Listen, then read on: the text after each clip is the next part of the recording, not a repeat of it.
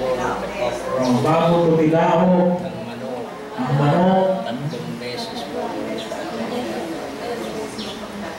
So naman yun, habang naman si Jesus ay dinadala. Idadala sa. Dinadala siya ng mga kawal. Ang katawanan nun si Pedro sa sa gate. At tumingin si Jesus kay Pedro. At tumingin naman si Pedro kay Jesus. At nakita niya na nga, no? Nung tinanong siya, ay tama nga yung sabi ni Jesus. No? Tatlong beses mo akong ipagkakaroon. So, yan po yung year of the Poor 2015. Look at Jesus.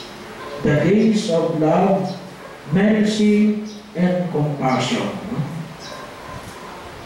And the Lord turned and looked at Peter. Ngayon, bago tayo magpatuloy, kayong tanong?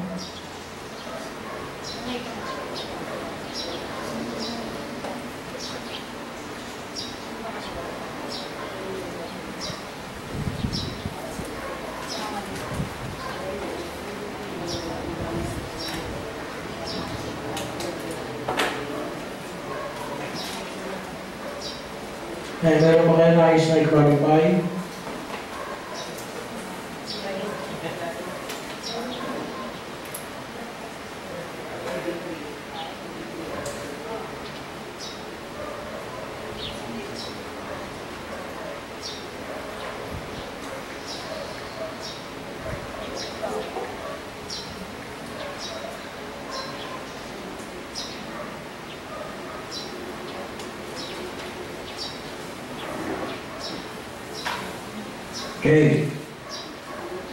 Wala kayong tanong?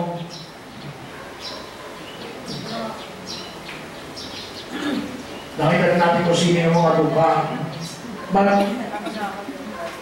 Medyo bibigyan pa natin ng pamimilay doon. Kasi medyo malaking hamon eh, binibigay ko kasi kung paano tutugunan yung year of the tour na ito. No? Ano yung challenges? There are three challenges. No? Challenges of the Church of the Poor na kung makikita po natin ay mula pa noong Second Binary Council of the Philippines noong 1991.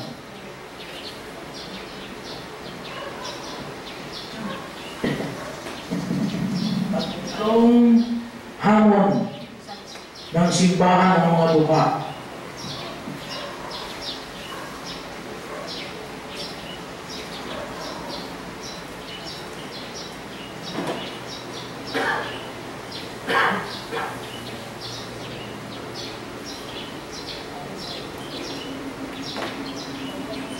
Bago po ilagay dito, nung kasi na seminar kasi yung mga lay ministers of Holy Communion, yung mga bagong nagdanais sa pag-lay ministers of Holy Communion, no? ng bikari po ng Holy Family, may nagtanong, ang tanong niya ay, ano yung pagkakaiba ng fundamental option for the poor at saka yung preferential option for the poor.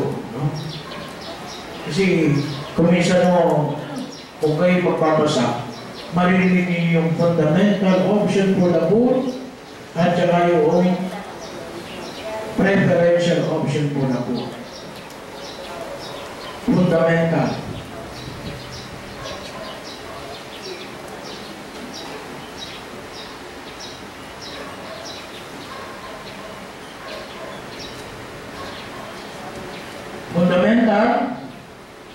yung isa ay preferential.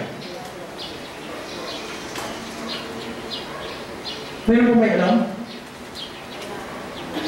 kasi baka maglilinaw, no? kasi uh, mahalagang ma-identify natin kung ito ba yung fundamental o preferential option for the poor. Pero may alam kung anong pagkakaiba ng dalawa?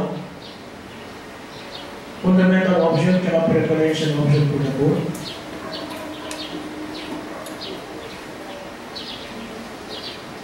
Meron nung may alam, wala? Wala. Oh, so kung wala, Pag sinabi natin fundamental, pag sinabi natin fundamental, ibig sabihin, yun ang pinaka-foundation stock option for the poor. Pag sinabi natin fundamental, poor lang. Hindi kasama ang mahirap. Ang mayaman. Kasi fundamental eh. No? Ibig sabihin, kapag sinabi yung fundamental option for the poor, hindi kasama ang mayaman. Fundamental. Kaya po yung mga fundamentalist, kapag hindi ka kasama nila, patay ka. No? Kaya ang tawag nila ay fundamentalist. Kaya kapag kaya yung ISIS, fundamentalist yun. Kapag hindi ka ISIS, ate mo ka. Gigilitan ka na din. No? Fundamentalist yun. Ito, kapag sinabi yung fundamental option for the poor, kinakailangan mahirap ka. Kapag hindi ka mahirap, hindi ka nakasali. Ito ba yung sipahan natin? Hindi. So, hindi tayo fundamental option for na kung tayo ay preferential option for the poor. So, i-cross natin to, no? Ano yun ang preferential option for the poor? Kasama ang mayaman. No? Kasama ang mayaman. Pero, anong klaseng prefer? Kasama ang mayaman. Ibig ko sabihin ito, palagi na lamang mahirap. Ang huli palagi ay mayaman. Hindi. Pag sinabi natin preferential option for the poor, ibig sabihin, halimbawa, may dumating sa opisina ninyo. Kapag ang unang dumating ay mahirap, ang ano dapat ang mga sinasuwi ninyo?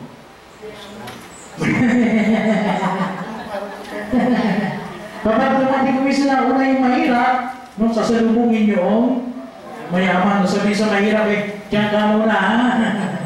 so, pag-usapin mo yung mayaman. Hindi rin dapat ganun yun, no?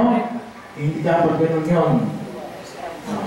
Dapat kung sino yung unang dumating, yun ang una mong kakausapin. No? Oh, first come, first serve. Unless, sabi nga natin, mayroong talagang emergency. No? Ano naman natin kapag emergency? Ano pa sa amin emergency? Life and death. No? Yun ang emergency. No? So, pero ang ibig sabihin ng preferential option for the poor ay ganito. Magkasabay dumating ang mahirap at ang mayaman. Sino mo unahin mo? Ang hirap, ano? No? Oh, ang hirap, ano? Kumisan, di ba? Kasi tayo, ang inuuna natin ay mayaman. Ang sinasabi ng simbahan, preferential option for the poor ay unahin mo ang mahirap. Yun ang preferential option for the poor. Kaya doon pa lamang, no? ay kinakailangan natin sanayin yung ating sarili. No? Na kung magkasabay silang dumating, ang uunahin natin ay mahirap. Preferential option for the poor. Kung nauna ay mayaman, mayaman ang una mong kakausapin. Kung nauna ay mahirap, mahirap ang, ang una mong kakausapin. Pero kapag ang mayaman at ang mahirap ay sabay, ang unahin mo ay mahirap. Ano sabihin mo yun sa mayaman? Ha? Ano sabihin mo sa mayaman? Pasensya na kayo, for the poor, ha? Pero siguro kung nakaka-attend siya ng seminar, no? Nakaka-attend siya ng seminar, no? Mahulog siya lang kung gano'n na, ano, pero bahagi yun na, na maging mahagi yun ng ating, sabi nyo ay, ay, siguro sabi mo ay, ah, dito muna kayo, no? Kausapin ko lang po ito, ano, at, ah, ah, ano? Ano? Hindi, sabay nga eh. Sabay nga dumating eh.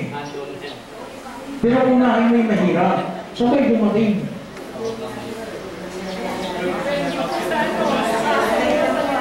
Ha? Pangangailangan.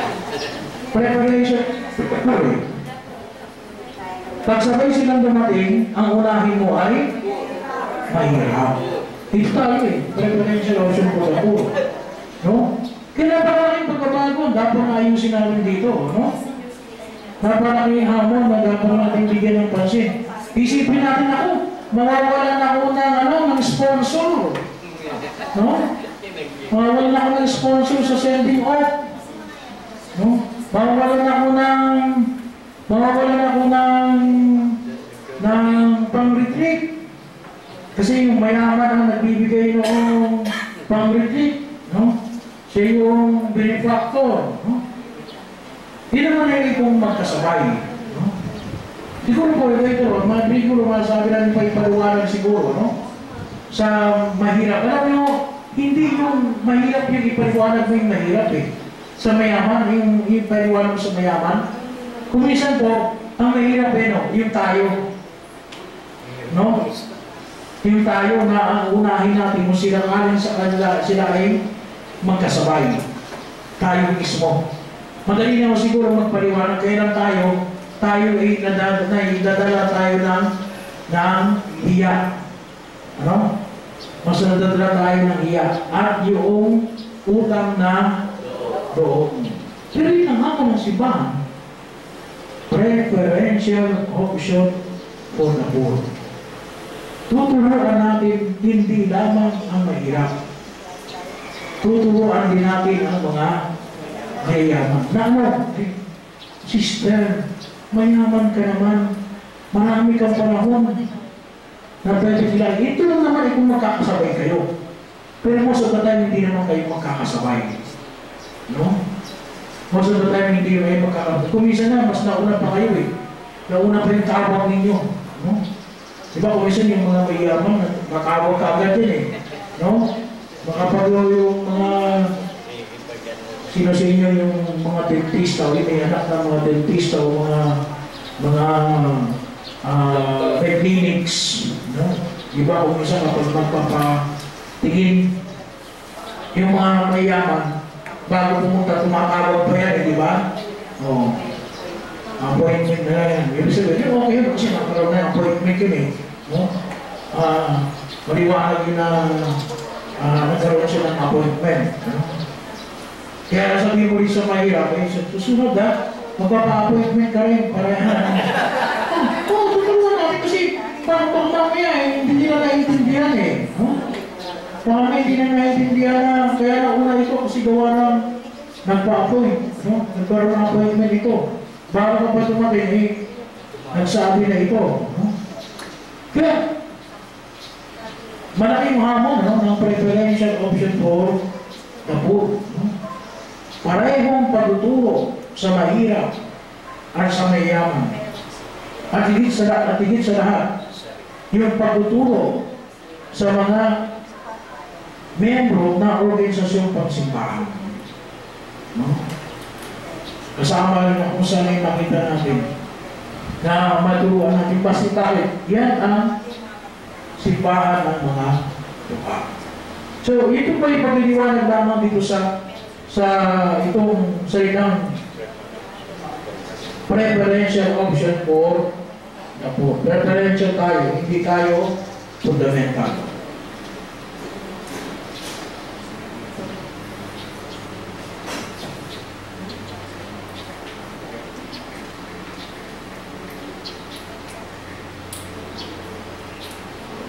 Ngayon, hamon.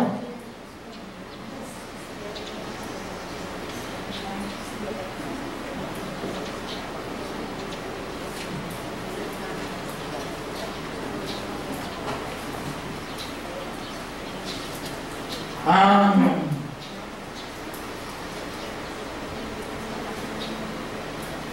tawag ng Ebanghelyo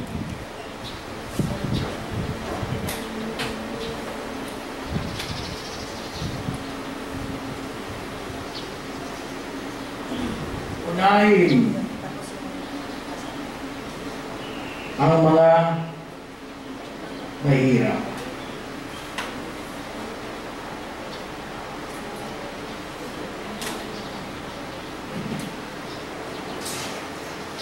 Unahin ang mga mahirap. Yan yung unang hamon ng simbahan ng mga lupa. Tawag ng Ebanghelyo ay unahin ang mga mahirap. Bakit?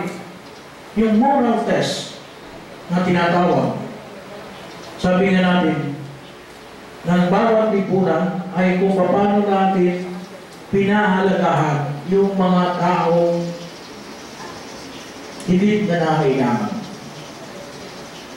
Ibig sabihin, kung ang halimbawa sa loob ng ating parokya, ay mayroong, ay ito yung sabi ng isang, yung isang hamon, ano?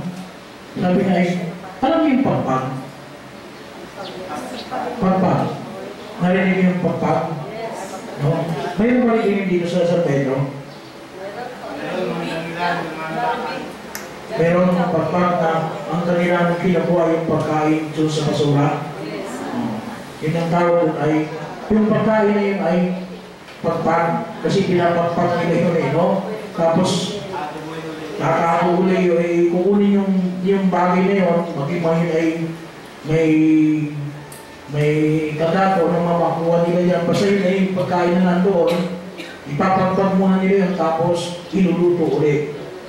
Painitin ulit sa apoy. No? Kaya tawag ay pagpag. Mga taong pagpag. Ang tanong ay ganito, kung sa isang lipunan na ginagalawa natin, maging maayos man, kasi ito, ay ibig sabihin ay mga, ay mga nasa villages, kung pero kapag yung isang tao, ay mayroong ganitong tao na pagpag, at pinababayaan natin, ang tanong ay, anong uri ng mabubuting tao tayo? What kind of society na pinababayaan natin, anong klauri ng lipunan meron tayo? Kung ang isang tao na ganito ay pinababayaan natin sa kaniyang kalalagayan. Pero sabihin natin eh, no, pati tamad naman eh. Pero ikaw, tayo, pababayaan na natin siya.